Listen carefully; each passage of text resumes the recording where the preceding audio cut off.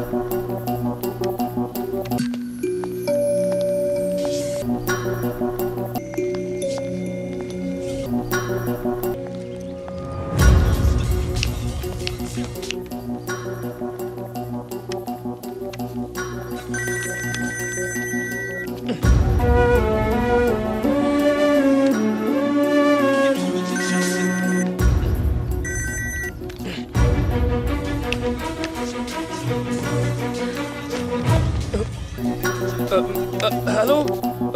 signal problem.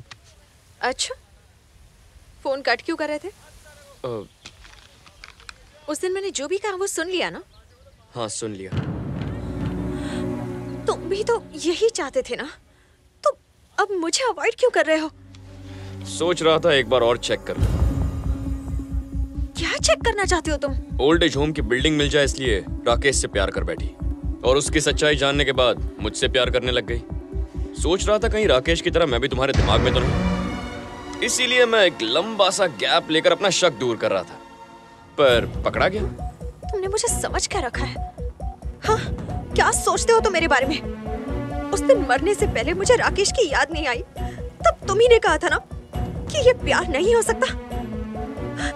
तुम मुझे सात दिन दिखाई नहीं दिए तो मेरा मर जाने को दिल कर रहा था। इसे तो प्यार ही कहते हैं। तुम्हें कोई और मिल गई है क्या?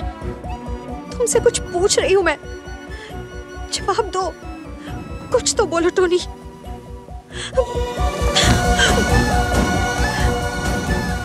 तुम्हारी ये चुप्पी मेरी जान ले लेगी, टोनी। प्लीज़ मुझसे बात करो। मैं तुम्हारे बिना एक पल भी नहीं रह सकती। वादा करो कि तुम मुझे छोड़ के कभी नहीं जाओगे।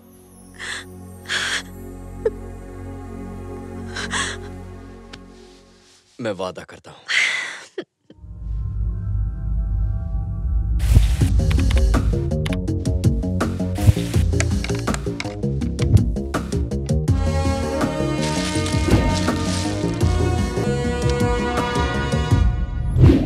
डॉग फादर नहीं नहीं गॉड फादर अब आगे क्या होगा? एक तो वो हत्यारा अभी तक नहीं मिला। उसके ऊपर ये नया पुलिस ऑफिसर हमारा ब्लड प्रेशर ऊपर नीचे करता जा रहा है। धरती फिर से हिल रही है भाई। अरे ये बाल में आप फिर से आ गया।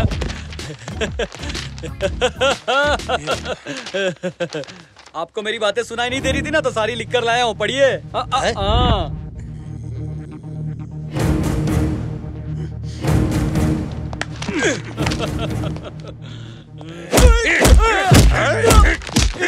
अबे चार क्लास क्या पढ़ लिया तू अपने आप को बड़ा पढ़ा लिखा समझता है क्या? तुझे पता नहीं कि काला अक्षर मेरे लिए भैंस बराबर है। भैंस कहीं के? छोटे तू आया। तो मुझे याद आया कि आज मेरी गली में चाँद निकला ये गूँगा मेरे बारह बजा रहा था। पर बारह तो इसकी शक्ल पे बजे। अरे इसकी शक्ल ही ऐसी है। कल गूँगा बनकर मोना एक्टिंग कर रहा था और आज ये लव लेटर लेकर आया है। देखो ये हिंदी में लिखा है फारसी में। चुप ज़रूर मेरी बुराई की होगी इसने। तूने अभी तक नहीं बताया? मुझे तो लगा कब का बता दिया होगा। क्या नहीं बताया? कुछ नहीं झुन्नू भाई। इरफान और उसके आदमियों को और मिनिस्टर और उसके बेटे राकेश को किसने मारा वो लिखा है इसमें। उन्हें किसने मारा? मैंने और किसने तुमने? हाँ झुन्नू भाई। देख छोटे ये कॉमेडी का वक्त नहीं है। मैं फुल ट्रेजेडी के मूड में हूँ। मैं कॉमेडी क्यों करूँगा? आपको यकीन नहीं होता ना?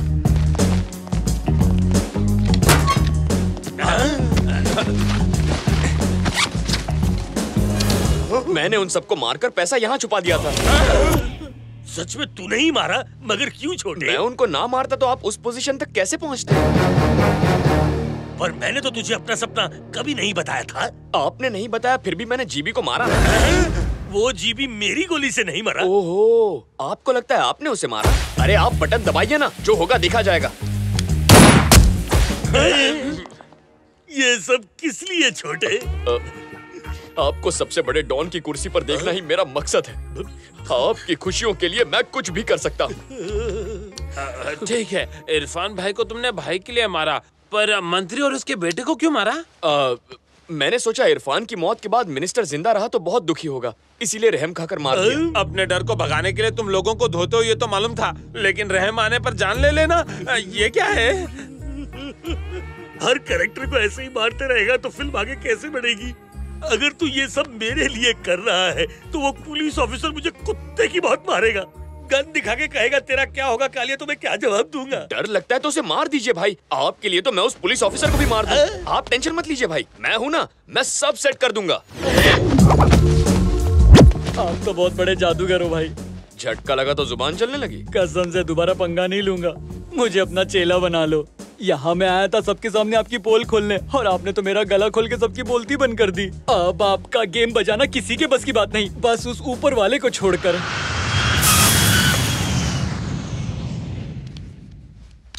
जहाँ तक मैं जानती हूँ इनकी किसी से कोई दुश्मनी नहीं थी। कितने शांत स्वभाव के थे ये। मेरे मासूम बेटे और पोते को मार डाला रे। ये क्या हो गया? ये मंत्री जी की कुछ चीज़ है। इरफान भाई को मरे हुए इतने दिन हो गए और खूनी का अभी तक पता नहीं चला। कोई भी फ़ोन करता है तो अज्जू भाई का फ़ोन समझ के डर जाता हूँ मैं। उन्हीं का नाम मत लेना उसने ये सब मेरे लिए ही तो किया है। आपका कहना बिल्कुल सही है। पता लगाओ खूनी कौन है। अज्जू भाई को नहीं पता चला कि खूनी कौन है तो हमें क्या पता चलेगा? उन्हें पता कराएँ? अरे।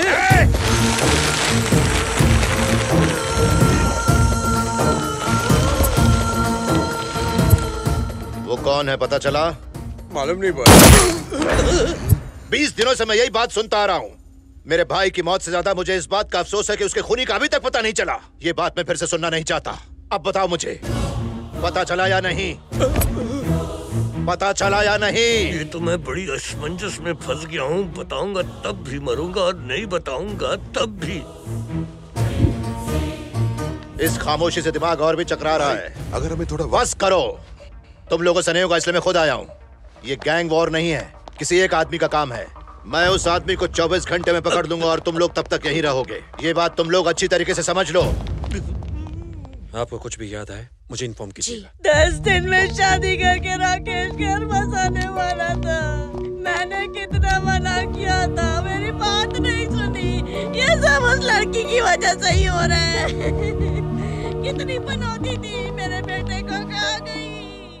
राकेश की लव स्टोरी का क्या चक्कर है? उन दोनों की शादी होने वाली थी लेकिन फिर वो लड़की किसी और लड़के से प्यार करने लगी सर। कौन है वो? लड़के का नाम टोनी है। टोनी? ये उसकी फ़ोटो है। इसका नाम टोनी है सर। एक साल से मुंबई में दिखाई नहीं दिया।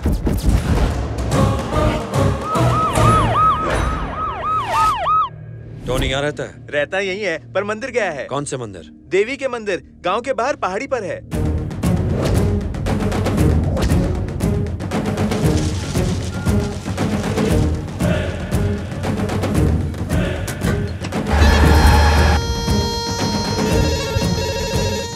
टोनी की मुझे सारी डिटेल्स चाहिए immediately okay sir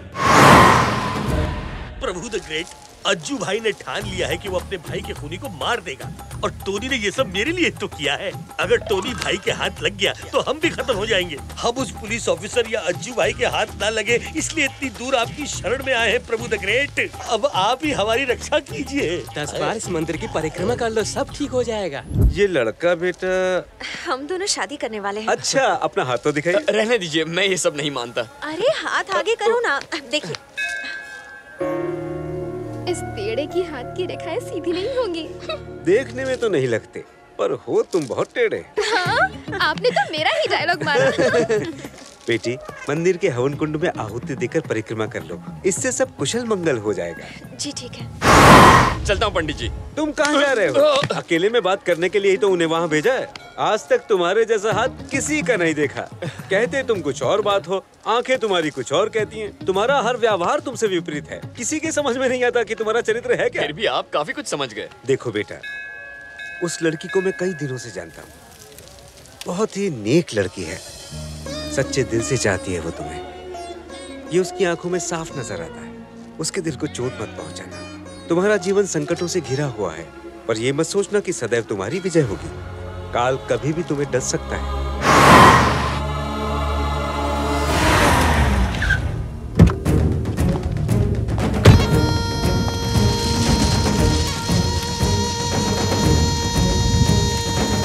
लगता है ये पंडित पहले जिम में ट्रेनर था। तभी तो सौ बार परिक्रमा करने को बोला है। पहचान गया तो कुत्ते की बहुत मारेगा।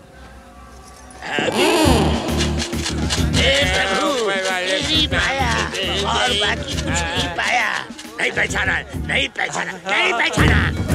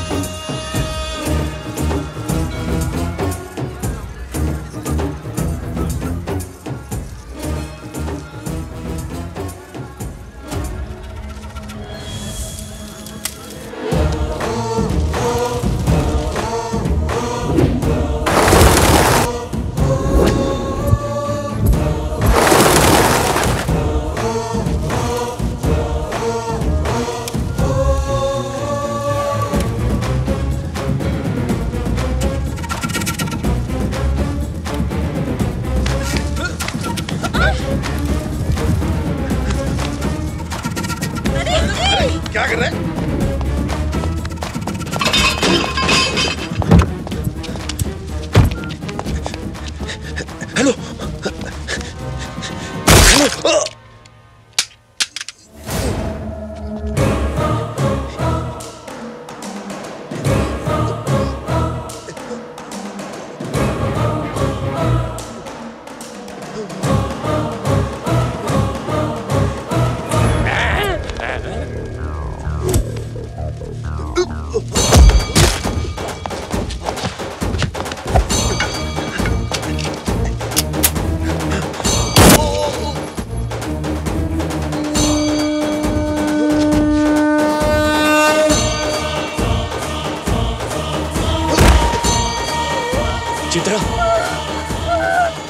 जाओ